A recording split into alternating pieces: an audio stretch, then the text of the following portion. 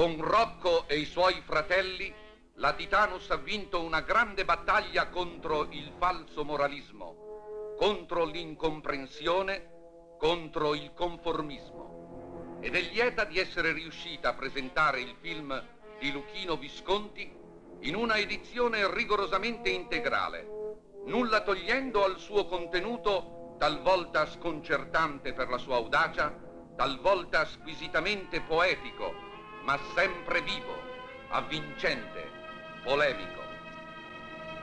Per questo Rocco e i suoi fratelli è il più grande avvenimento della cinematografia mondiale.